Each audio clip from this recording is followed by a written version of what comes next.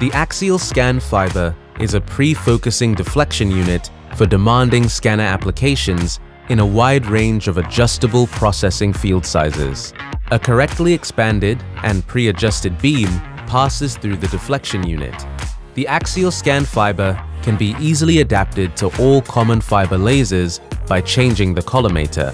Diffracted optical elements can be inserted to shape the beam. Two possible collimator positions allow for easy machine integration. High dynamic, lightweight mirrors and lenses deflect the laser beam with high speed and accuracy to any position in the processing field. Depending on your application, the processing field can be pre-adjusted to the required size and working distance. The process light output on the backside provides a full spectrum wavelength without chromatic aberrations. The RaySpector module can be attached for two-way process monitoring.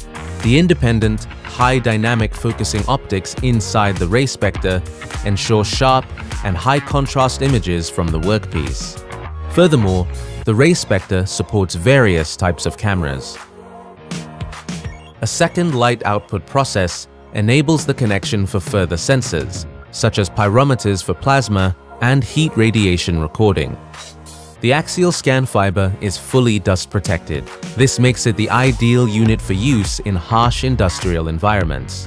The axial scan fiber is also perfectly suitable for laser powder bed fusion. Two beams can work on the same workpiece for heating up and melting to avoid the heat cracks and multiple beams can be used to work on the same processing field to increase productivity.